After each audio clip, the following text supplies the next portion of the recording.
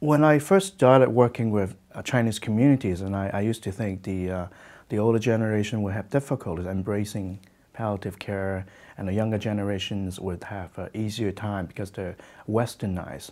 And then I think the more I'm into, you know, working with these people, then I realize it's not so much whether you're the first generation or the second generation.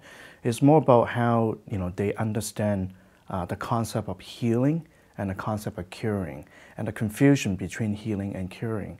Because often uh, a lot of Asian people will look at um, healing and curing as one thing. Uh, healing being um, holistically healed, uh, not, not in a sense of physically you know, well, uh, but being able to have quality of life and being able to embrace uh, mortality and, and just have everybody together uh, towards the end. And that's healing.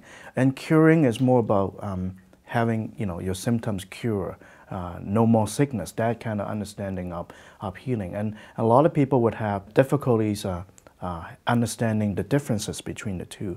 So what happens is um, the, the concept of dying and the concept of death is often uh, being you know sort of merged into one huge uh, concept. And, and I would say uh, the older generation, or I would say the immigrant generation, like my parents, they would have more difficulty um, going through the dying process. And that is more typical of, the, of that generation where because they have gone through um, multiple immigrations, uh, warfare, or even famine, and, and, major you know, changes in their lives. So survival is actually really critical for them.